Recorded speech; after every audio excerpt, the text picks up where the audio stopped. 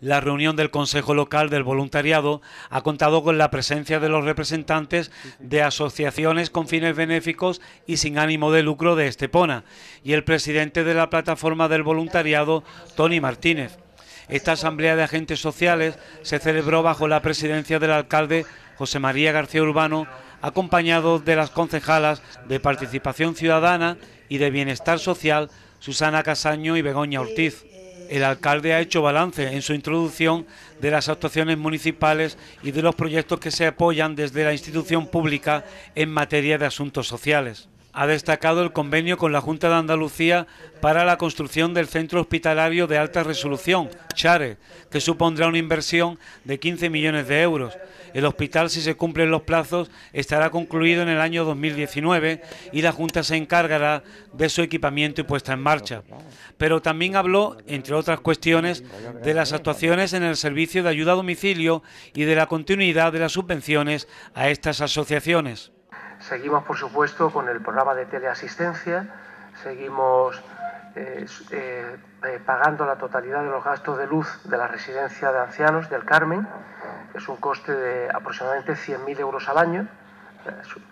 Es una gran instalación con muchísima gente, 24 horas en marcha, o que es un coste importante, pero lo, lo vamos a seguir. Como también se va a seguir, por supuesto, pagando los traslados en autobús al Hospital Costa del Sol. La labor en este campo, dijo García Urbano, no puede descolgarse de otras inversiones en el desarrollo de la ciudad, sino que es necesario un equilibrio soy pieza fundamental para la vertebración social de la ciudad. Eh, por mucho que haya, por mucho que se avance en turismo, en infraestructuras, si el alambicado social no está perfectamente vertebrado, al final hay gente que se va quedando atrás. Y cuando vas caminando muy deprisa y, te das cuenta que la gente se está quedando atrás, hay algo que estás haciendo mal. Así que hay que frenar la marcha o hay que dar combustible a los que vienen detrás. Eso es, eso es así, ¿no?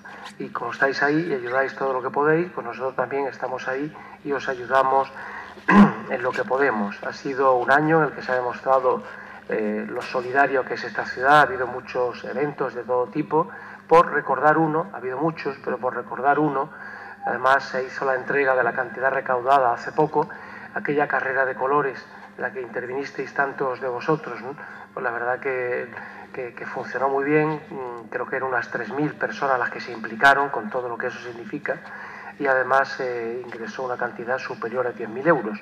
Para el presidente de la plataforma del voluntariado, la coordinación entre asociaciones y el ayuntamiento es esencial para el buen funcionamiento de los diferentes colectivos con sus intereses. Pues son muchas cosas y hace falta un equipo y bueno, y en mi caso pues estuve un tiempo, una temporada larga que me faltó equipo y bueno, creo que ahora lo tengo y funciona bien, la verdad es que estoy animado y con ganas de seguir.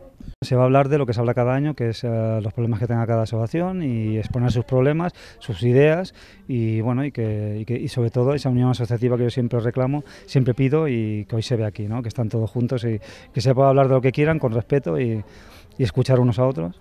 El próximo 30 de noviembre, en conmemoración del Día Internacional del Voluntariado, se entregarán en el Centro Cultural Padre Manuel los premios Estepona Social y Solidaria en dos categorías, una institucional y otra personal. Es una cuestión de justicia social.